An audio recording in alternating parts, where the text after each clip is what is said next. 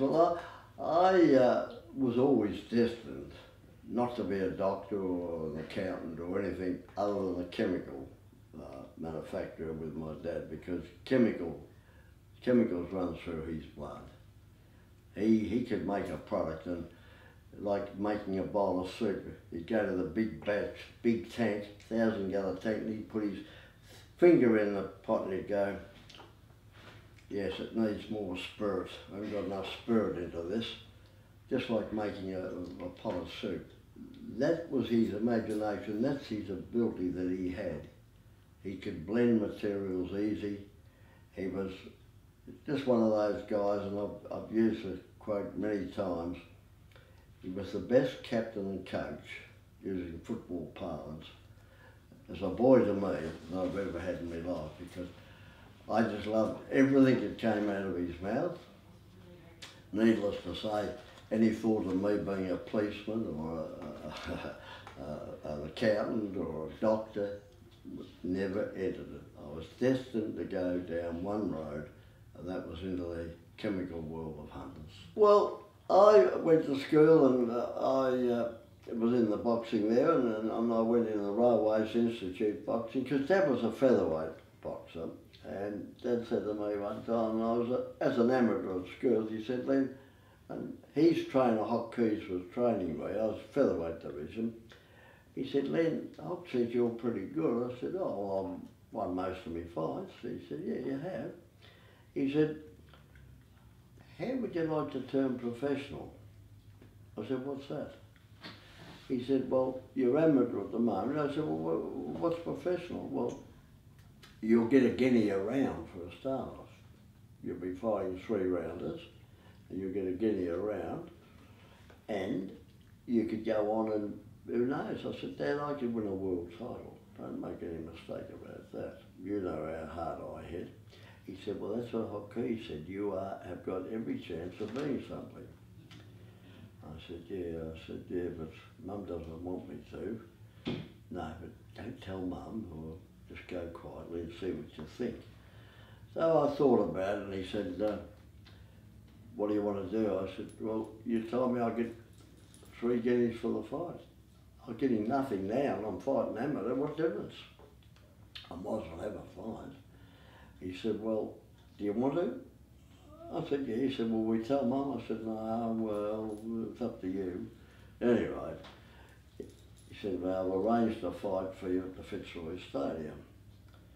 I said, yeah. I said, who am I fighting? He said, oh, this chap from Ballarat. He said, he's six years older than you, seven years older, and he's a professional. He's had professional fights. You haven't had one. I said, Dad, wouldn't make a difference. I'll stop him in the first round. You know how hard I hit. Yes, he said, well, that's what I want to talk to you about. Do you think you could lose the first round? I said, you mean lose the first round? He said, well, we can get two to one the red corner. That'll be you. And we'll put the red on you if you think you're that good. I said, oh, well, I said, I'd win easy, but don't worry about it. Two to one. He said, yeah, we'll have the red on you. I said, oh, well, well yeah, do that. Well, that was the last fight I ever had. I've the difference between professional and amateur. He came out of his corner 100 mile an hour and split that eye open in a flash, first punch. And he bruised that eye, was half shut. And I'll never forget going back to the corner at West Melbourne Stadium and Dad put his head through the ring and he said, good boy, he said, we got the two to one. I said, you got the two to one? I said, I don't know what round it is. What round is it? He said, you're joking. I said, no, I'm not. Anyway, fight ended and I think this eye was closed and, and I went home and my mother saw me and then what you done to my boy? I said, yeah, well, it was uh, much my fault, Mum. I said to Dad I wanted to, so my very short stint in the boxing ring to follow where my dad was lasted one bout in the professional. In the amateurs I was pretty good, but professional is different. They're more, more tougher fighters and, you know, as against the amateur versus the professionals. But I, uh, I always in, in, enjoyed that and uh, because uh, I just liked the competition in football. I liked the competition at school, Essendon Grammar. I loved it, and uh, uh, was beautiful. I always, a funny thing, you know, at school, you'd want to do well, and I'd always say to my, once again, friendship, I built up a lovely friendship with Alan O'Neill, who was dux of the school. Brilliant student to be a friend of. If you had exams, you'd always make sure you shared the information, and I always sat with him, next to him. So you come into a class, and where are you sitting, Alan? I'm sitting there. Do you mind if I sit next to you? We'll exchange notes and try to help each other. And my old mate Bill Holmes, he said, can I sit with you and Alan? I said, yeah, well sit with us. The exam's on today. We've got to get passed. We've got to get it right. So we sit together, three of us. So exam, the results come out two days later and, and uh, Mr. Lewin said, boys, there's been remarkable performance by Len Hunter and Bill Holmes in, in the Latin examination. I've got to congratulate both boys because their, their results over the last few months haven't been good, but they are equal tops with Alan O'Neill, who's the dux of the school. They both got 84 points out of 100. Now, having said that, after school, I would like to see Alan, uh, uh, Glenn Hunter and Bill uh, uh, uh, and Bill King come and see me. So up we go, and he said, "Now, what do you put your your improvement down to?" I said, "Well, I have studied hard, sir." I said, "My dad's told me I've got to improve at school, and I put my head down, so to speak, and I'm really having a go." Bill Holmes, what do you put yours down to?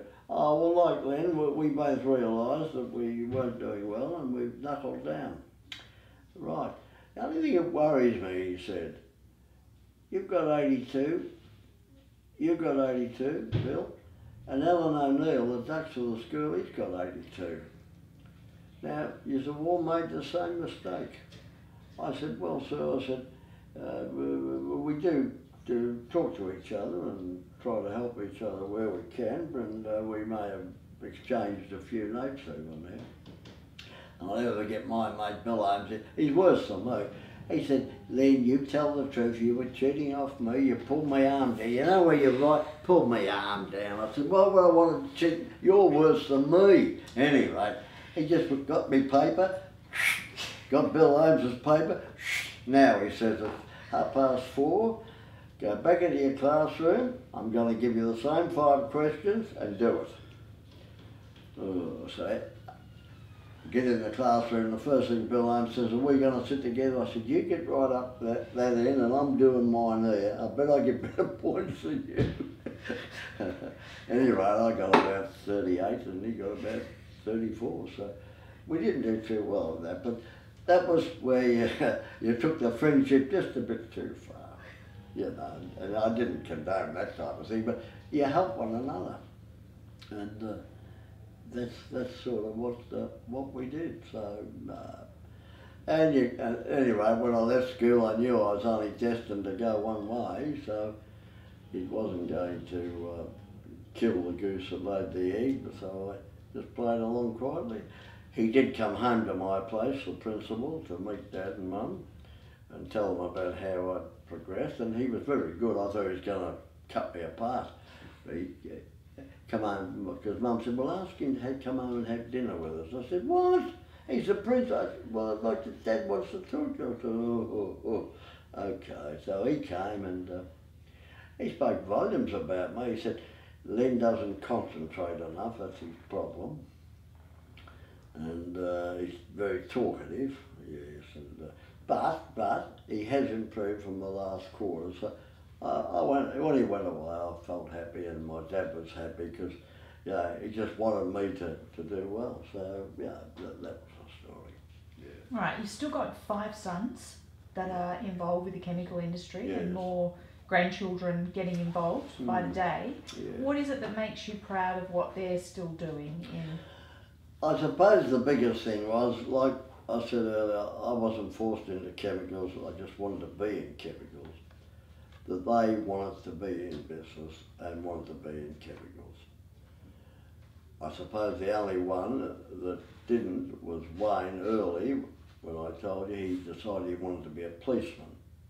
Well, I thought that's not bad having a policeman in the family. You can always fall back on things that might happen and won't happen. I said, it's all right, Wayne. If you don't want to be in the business, that's up to you. He said, you don't mind? I said, yes, I do mind, but I'm not going to stop you. So he went in and he sat in the waiting room for about uh, two hours waiting for his turn to be interviewed. About ten in front of him. So he said, I sat and sat and sat and I thought, well, really, do I want to be a policeman? And he just got up and went to the girl on the desk and said, I've decided to pull my application out and came back and uh, joined the business. And uh, we then, of course, decided that as we'd sold Hunters, that we'd call it the Big H Chemical Company. Hence the birth of the Big H. And uh, away we go. At that time, we had the um, the boys plus um, plus Greg Holmes, who you probably would have known as a director of that company. And they had to start from scratch to build that business. And uh, the latter years, you've seen the operation, the way they go. They've done a remarkable job, and uh, I'm quite certain the boss up top there'd be looking down on those boys and say they're doing what I expected them to do. So um, yeah,